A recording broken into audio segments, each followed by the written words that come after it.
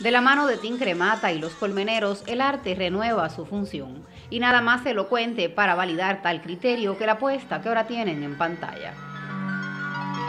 Soy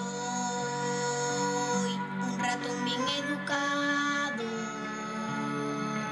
Ya este lugar encantado. Bueno, lo que más me gustó de la gira fueron las funciones, eh, en- en- no solo en Santiago, sino esta primera función también me ha encantado mucho por todo lo que pasamos aquí, la lluvia, el, todo el público, lo bien que nos trataron, todo muy bien.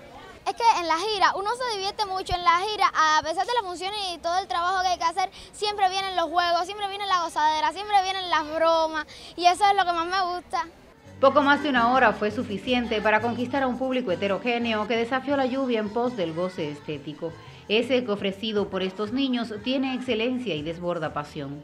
Y hemos llegado aquí a Granma, a un Consejo Popular extraordinario que se llama Rosa la Valla Mesa, que nos ha recibido un público tan lindo que cuando estaba la función por la mitad ha caído un palo de lluvia y se han quedado una cantidad de... Algunos se guarecieron a lo lejos y seguían viendo la función.